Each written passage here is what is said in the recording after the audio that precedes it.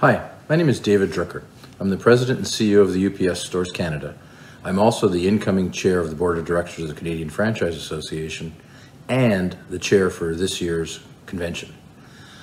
I wanted to take an opportunity to highlight to you why convention is so important.